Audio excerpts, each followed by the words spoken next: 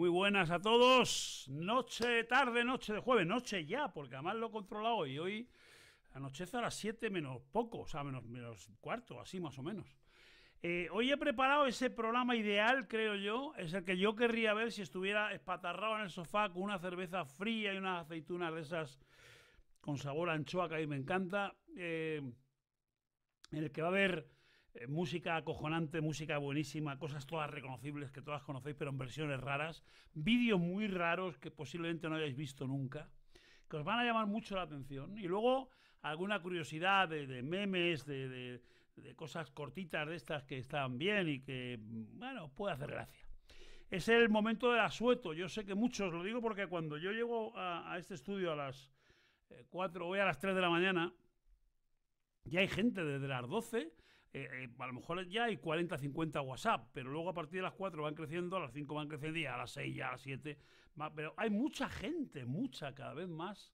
Esto hace 15 o 20 años era impensable. Ahora España ya es un país más, un país como Alemania, como Inglaterra, como Estados Unidos, donde la gente madruga, donde no es imposible, más que nada porque eh, es imposible que el país funcione si la gente no madruga. Alguien tiene que estar por la mañana, como alguien tiene que estar por la noche, y eso nos quedan años ¿Sabéis que las grandes ciudades norteamericanas, eh, en el centro de las ciudades, en las partes, lo que llaman el downtown allí, ¿no?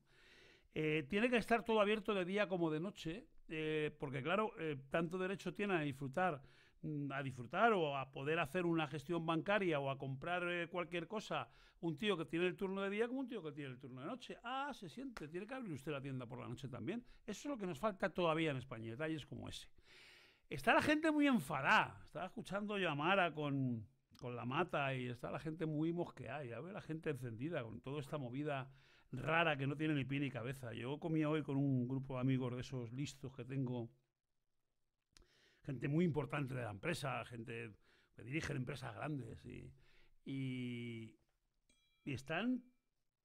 ¿Quién me llama? Ah, y están todos jodidos, están diciendo qué cosas tan raras, cómo está el país de raro, ¿no? Eh, ¿Cómo hace Pedro Sánchez esto? ¿Cómo está vendiendo un país por siete diputados? Oye, pues alíate con el otro, con el pintamonas del Fijó y lo hacéis juntos, coño, y echáis a todos estos pidones. Esta mañana te, despiertas y al poco, a las ocho y media de las nueve, te enteras que acaba de regalar Renfe, que la ha parcelado Renfe Cataluña y se la ha dado, pero la ha dado los hoteles, las cafeterías, las máquinas, todo, la, la cercanía, también como parte del trato a Cataluña. Y digo yo, que está muy bien, ¿eh? Yo no critico cuando da, pero, eh, eh, eh, un momento. Mientras que todos seamos iguales, tío, si das a uno, das a otro. No puede ser que Extremadura no tengan tren. No puede ser que Extremadura, a mí me da mucha vergüenza, me produce risa. Porque es para descojonarte, pero me da mucha vergüenza también. O sea, Extremadura es una eh, comunidad, región, lo que tú quieras, única en el mundo, donde sus dos únicas provincias, dos provincias, no tienen carreta autopista entre ellas. Esto no pasa en ningún sitio del mundo. No pasa. Nada más que Extremadura. No tiene tren, no tiene nada, están muertos de asco, no va a verle nadie, putean a la gente. El, ganado esta mañana hablaba con un tío. Lo mismo desmontan las granjas que las vuelven a montar. Un descojono todo aquello. Bueno, no te cuento Castilla y León. No te cuento Asturias, Asturias junto con Canarias deben ser las más pobres de todas, y para estas no hay, a los otros vengan nadando la, la abundancia, que llevan así años, y venga más dinero, 400 mil millones de euros. A mitad del PIB, o un 40% del PIB, ¿no? ¡Oh!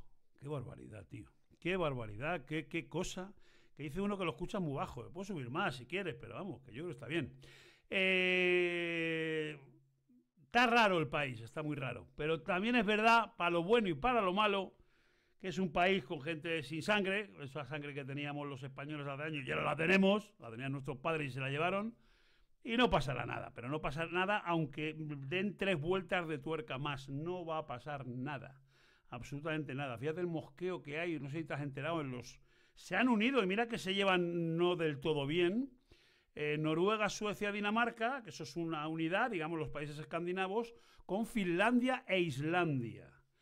Se han unido los cinco, dirige toda esta operación Dinamarca, y han dicho que Europa, pues que la den por el culo, que esto sois una panda de viejos, no tenéis ni puta idea, nos estáis metiendo en un jardín, aquí no llegan más que gente que no entienden nuestro modus vivendi, que tenemos unos problemas. Mira, Suecia, uno de los países modelo en el mundo, en el mundo, y tiene que estar el ejército en la calle, la que tienen montada en Suecia en estos momentos.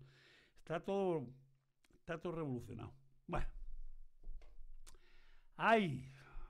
¿Qué os pongo? ¿Qué os pongo? Tengo, tengo un par de cosas simpáticas, eh, curiosas, de hace unos cuantos años que os va a llamar mucho la atención. ¿Os acordáis de Cher, no?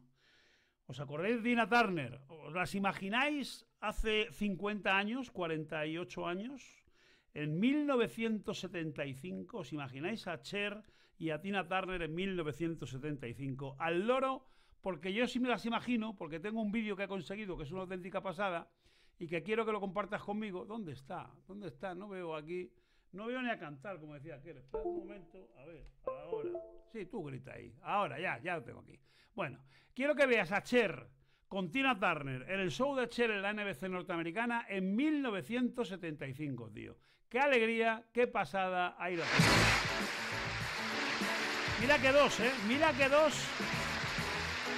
Mira que dos.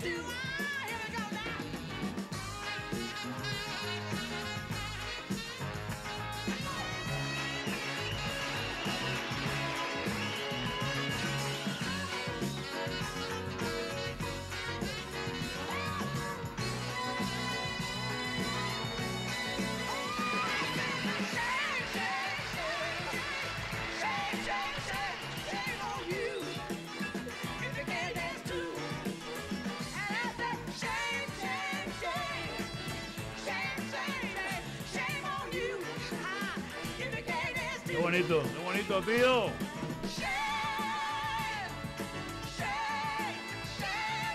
Oh.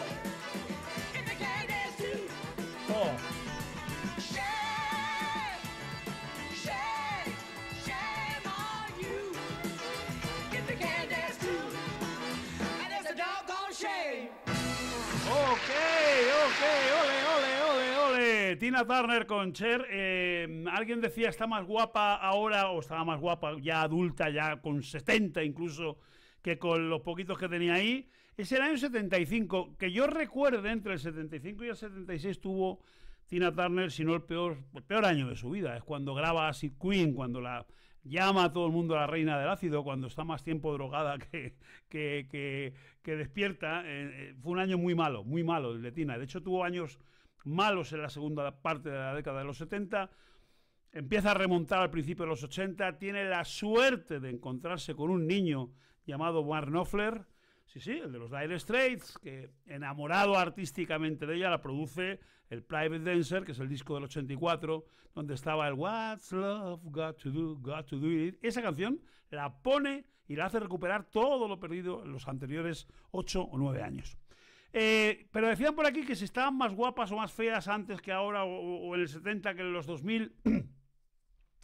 no sé cómo no se me ha ocurrido, pero vamos, si tengo tiempo, eh, a la par que pongo un vídeo por ahí, si tengo tiempo, voy a buscar eh, a las dos, muchos años después. Esto es del 75, las voy a buscar en el 99, lo que era, cuando graban Divas, la primera o segunda edición de Divas, el concierto benéfico de mujeres en el que estaban las tres damas en aquella canción, ¿os acordáis? Tina Turner, Cher y Elton John, con el Proud Mary de la Creedence. Es descomunal cómo están las dos, cómo está Tina de guapa, pero cómo está Cher, que sale en la segunda estrofa, con un pantalón ajustado de esos como de plástico, no sé de qué es, con ya 60 y muchos años, que dice, bendito sea el creador. Cher tiene más años que un, bosque, ¿eh? o sea, pero muchos muchos y mira cómo está. Yo solo hay una mujer con la que me atrevo a comparar en belleza con esos años, con los 80 que tiene ya, que es Diana Ross. Yo me acuerdo hace no mucho tiempo, vi una foto de Diana Ross con 70 y, con su hija que tenía 30 y, y digo, vamos, que está mucho mejor la madre que la hija dormida, pero dormida. Eh, os he prometido esta mañana a muchos van surgiendo canciones y la gente me pide y me dice, joder, esto qué bonito. Y, hay un grupo, un grupo, proyecto que mató.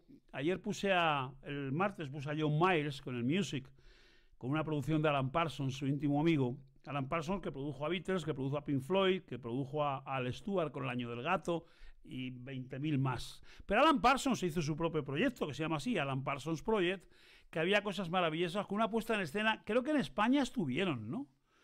Pero no estoy muy seguro. Yo no recuerdo haberlos visto, ya es que me falla, no la memoria, gracias a Dios, pero no sé, quizá. Bueno, el caso es que tengo un concierto, tengo un par de conciertos de Alan Parsons y he recuperado dos canciones. Con la primera vais a quedar con la boca abierta y con la segunda se os van a caer los huevos al suelo a los tíos y todo, y todo a las tías, porque es una auténtica locura. Este es Alan Parsons Project eh, como has visto ayer en el mundo, sin duda, lo visteis todos. Ayer antes, sí, ayer fue ayer, fue ayer, primero de noviembre. Eh, después de la fiesta de Halloween, eh, pusieron en Estados Unidos este vídeo que por si alguien, que no creo que haya uno solo, no lo vio en todos los portales de internet, en todos los informativos de televisión del mundo, dura un minuto, voy y le pongo ahora. Eh, María Carey, congelada desde el invierno pasado, la descongelaron ayer diciendo, es tu turno para que cantes el All I Want is Christmas for Christmas y you. Ahí la tenéis, ahí la tenéis. Eh, yo creo que se han vuelto locos los americanos. Nosotros nos volvimos locos hace tiempo ya con la Lotería de Navidad el mes de agosto en la playa, pero los americanos se les ha ido la pinza. Los americanos tienen perfectamente controlada la Navidad. Comienza el fin de semana del Thanksgiving. El viernes que eh, el jueves es Thanksgiving, el viernes es Black Friday, y luego ya ese fin de semana el que tira la casa por la ventana, se ponen los árboles, los árboles, se encienden las luces, última de noviembre, y ahí empieza. Pero coño, no el 1 de noviembre, se les ha ido la pinza, un mes de diferencia. Eh, este os va a gustar, este es mi pelea particular que tengo con la flauta. Cada vez que veo un niño con flauta, de verdad me dan ganas de quitarle la flauta, de pisarla, de rompérsela y que el niño llore. Me encanta ver los niños llorar. Incluso los míos, me gusta verles llorar. Gozo cuando el niño llora y yo, y yo lloro más fuerte. Eh, y me dice, joder, deja al niño en paz. Y yo cuando llora, ¡ah! Y yo, ¡ah! Y el niño dice, hostia, la única manera que se calle. Eh, pero bueno, si tenéis suerte, si dirigís a vuestros hijos por el buen camino de la música, posiblemente algún día tengáis un niño y una niña que hagan cosas como esta.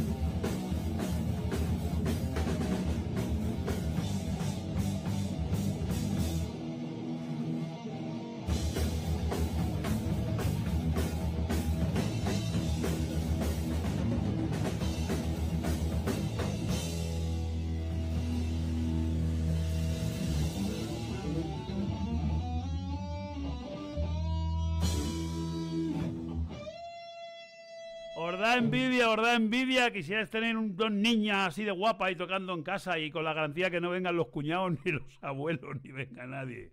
Oh, las niñas del exorcista, las dos, pero bien guapas que son, a mí me encantan. Insisto, eh, se me ha olvidado mirarlo hoy, pero es que lo tenía controlado. Hay muchas empresas que tienen ya, es como cabinas chiquititas, eh, hechas ya, nada más que llegar a la casa y te las pone. El corte inglés creo que los ponía, creo que las ponía, no me hagáis caso.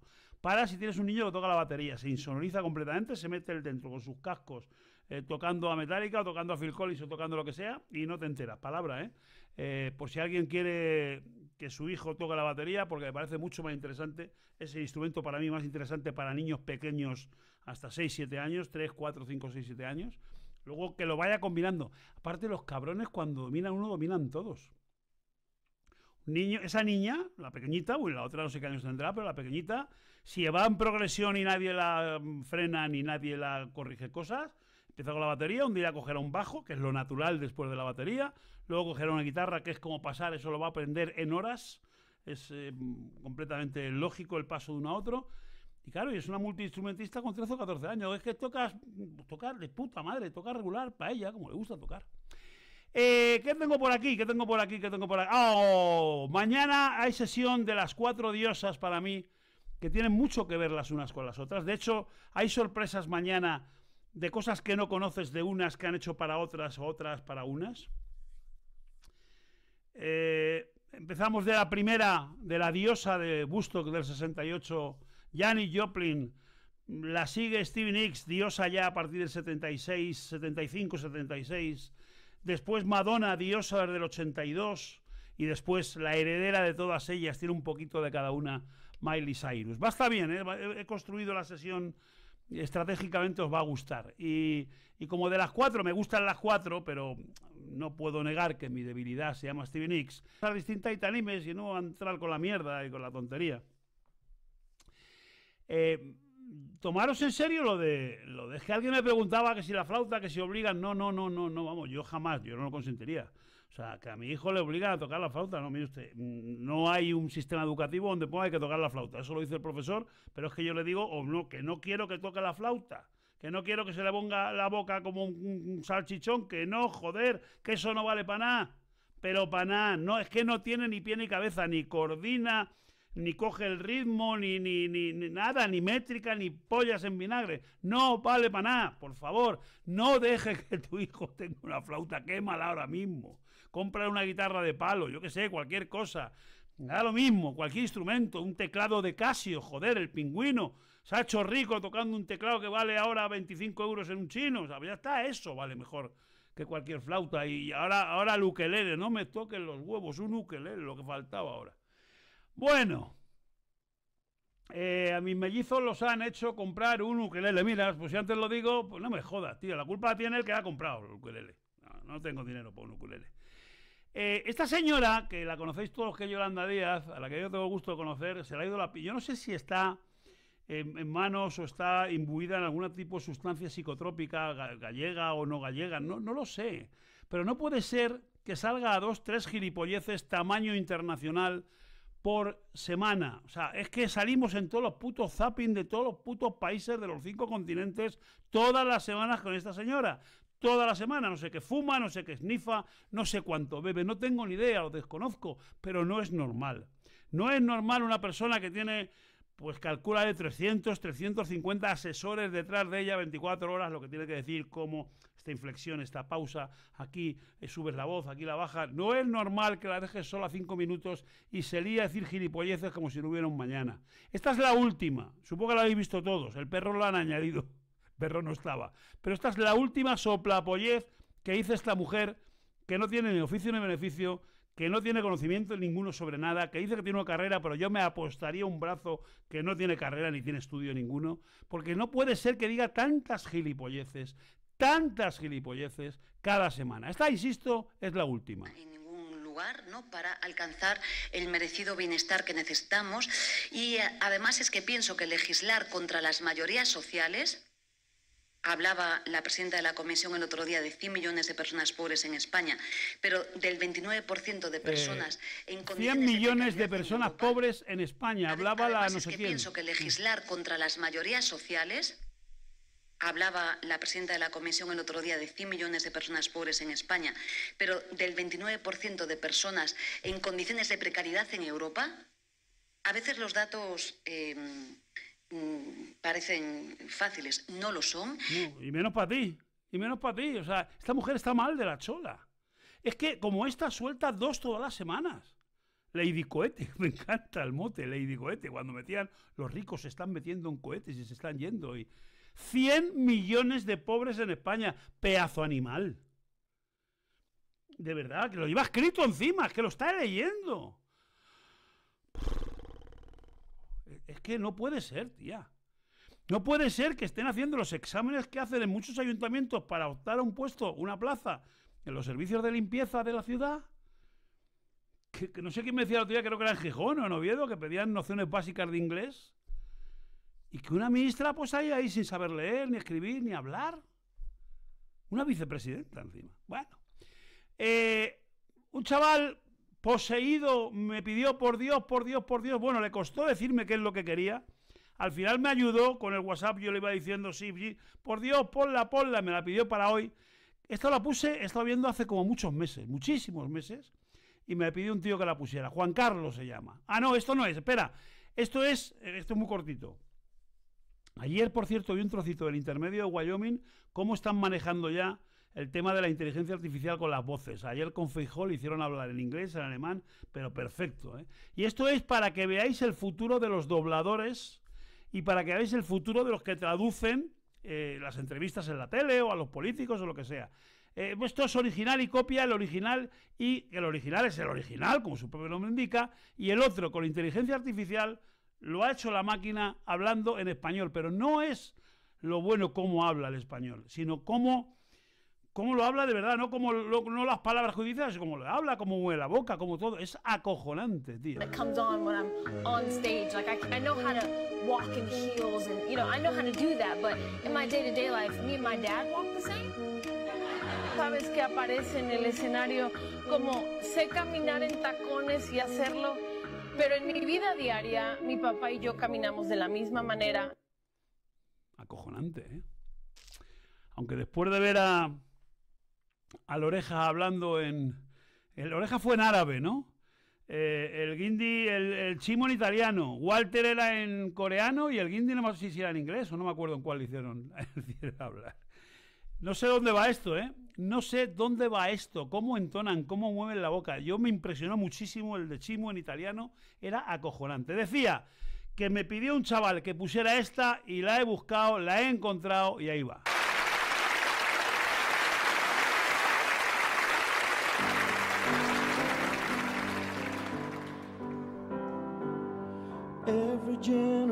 Generation the one before. And all of their frustration come beating on your door. I know that I'm a prisoner to all my father held so dear. I know that I'm a hostage to all his hopes and fears. I just wish I could have told him in the living years. Crumpled bits of paper filled with imperfect thoughts. Still to conversation. Afraid that's all we've got. You say you just don't see it. You said it's perfect sense. You just can't get agreement in this present tense. We all talk a different language, talking in defense. You say it loud,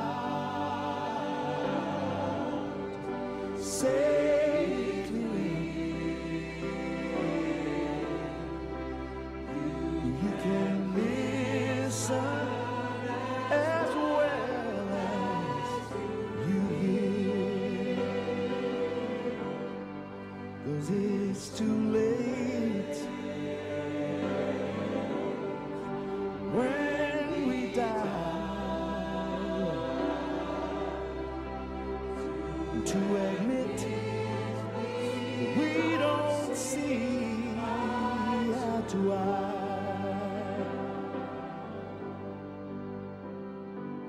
I wasn't there that morning when my father passed away. I didn't get to tell him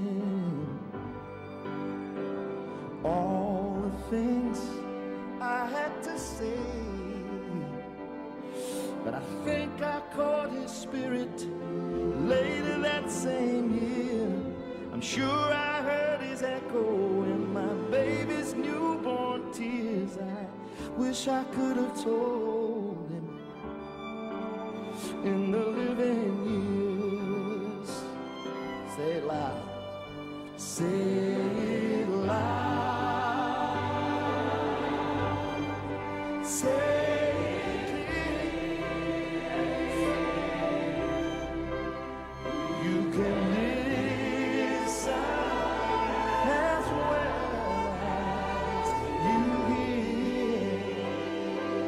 'Cause it's too late. It's too late. Too late when we die. When we die. To admit, to admit, we don't see eye to eye.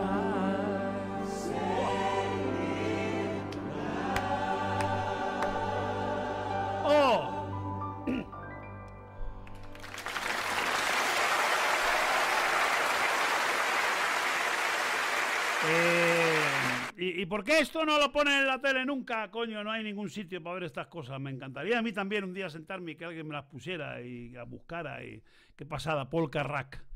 Eh, he encontrado un vídeo, me lo habéis mandado. No, no lo he encontrado porque no lo buscaba, me lo habéis mandado vosotros. De un border collie.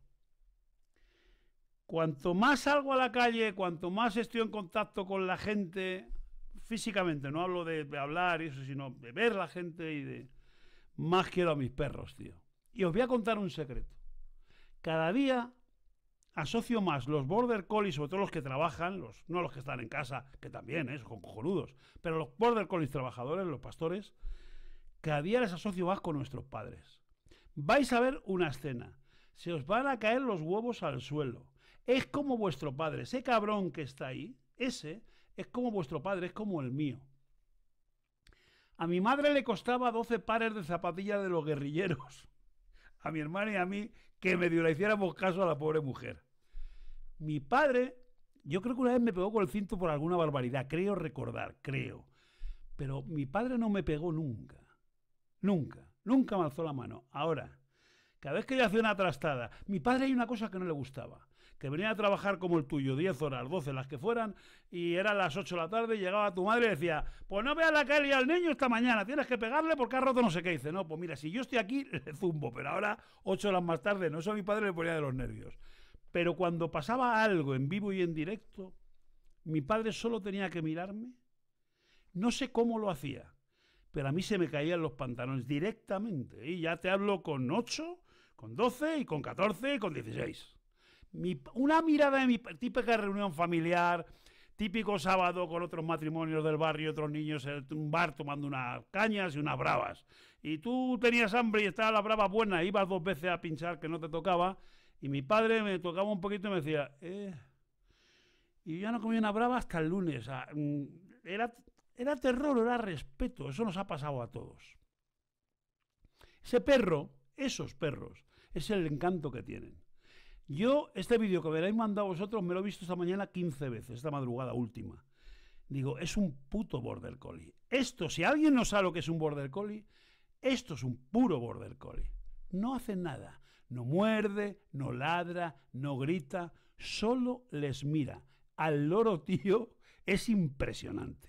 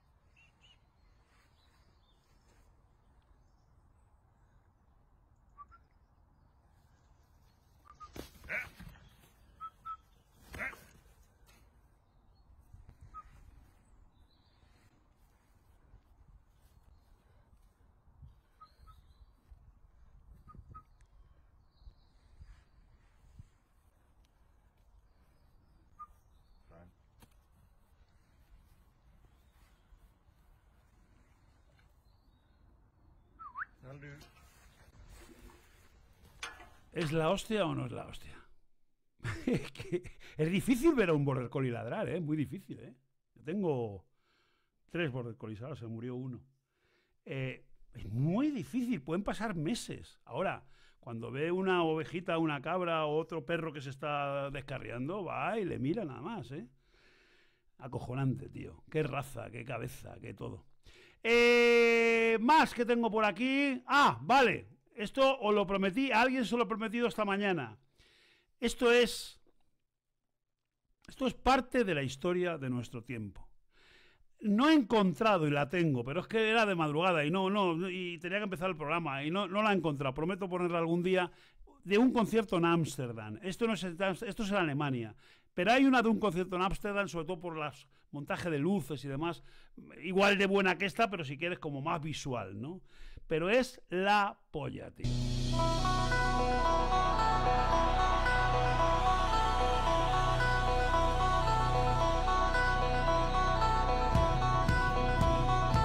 Alan Parsons, que antes tocaba la guitarra, ahora está tocando el teclado.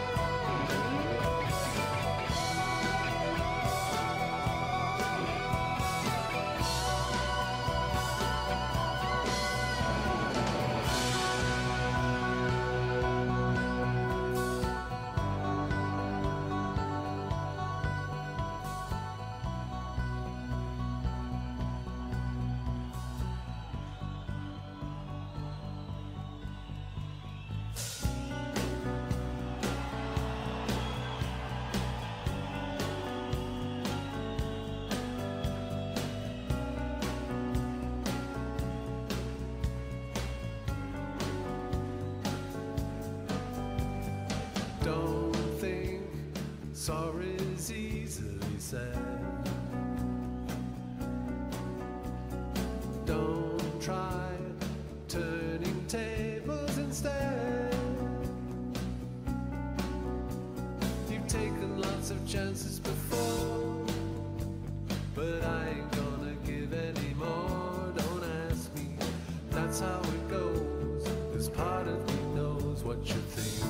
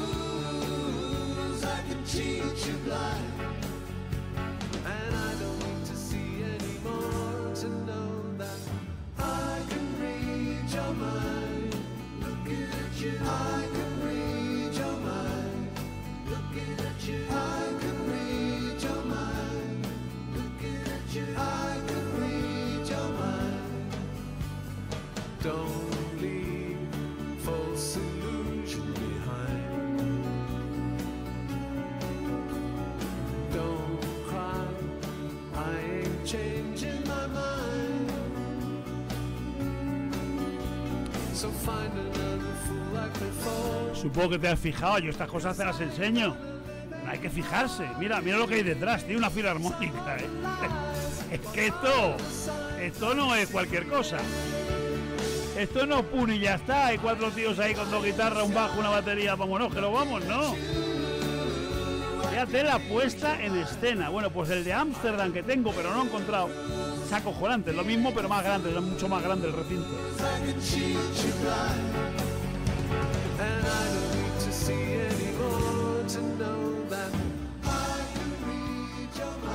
Bueno, bueno, bueno, bueno. Déjame que os hable de Madonna, que mañana también ocupará un lugar importante en la sesión de mañana a las siete y media.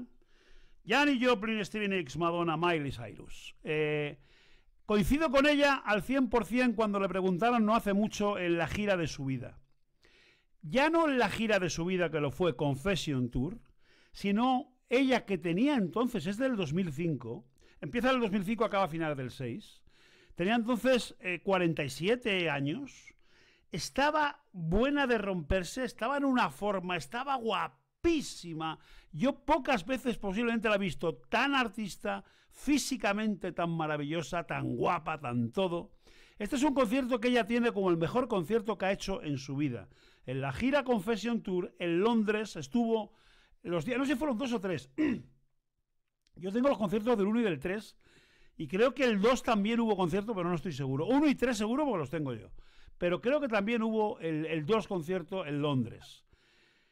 Esto es una brutalidad. Esto que vais a ver es una Madonna brutal, como nunca jamás estuvo en directo. En la gira Confession Tour, y esta es una versión del clásico de los trams, disco